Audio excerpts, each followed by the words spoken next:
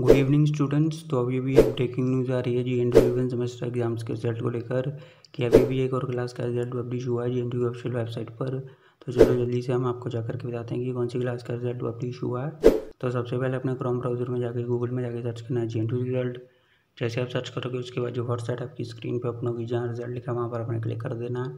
उसके बाद आपकी स्क्रीन पर ऐसा कुछ खुल जाएगा तो आपने थोड़ा सा नीचे आना स्क्रॉल करना है। रिज़ल्ट वाली सेक्शन में जाके सेमेस्टर सिस्टम न्यूज़ आने का वहाँ पर आपने क्लिक कर देना है उसके बाद आप फाइनल रिज़ल्ट वाले पेज पे पहुँच जाओगे तो सबसे पहले अपने ईयर पे क्लिक करना, दो हज़ार चौबीस को सिलेक्ट कर लेना मंथ पे क्लिक करना मई को सिलेक्ट कर लेना है कोर्स टाइप पे क्लिक करना है सी को सिलेक्ट कर लेना है उसके बाद आपने सिलेक्ट क्लास पे क्लिक करना है।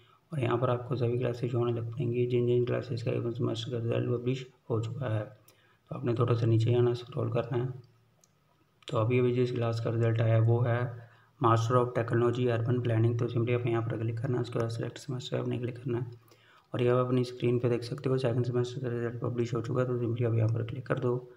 उसके बाद रोल नंबर वर्क के सबमिट कर दो, आपका रिज़ल्ट आपकी स्क्रीन पर होगा। ऑल दी बेस्ट सभी स्टूडेंट्स को उम्मीद है कि आप सबका रिज़ल्ट बहुत ही अच्छा आया होगा और सभी स्टूडेंट्स पास होंगे। तो जैसे किसी और क्लास का या किसी सेमेस्टर का रिज़ल्ट आता है तो हम आपको बता देंगे।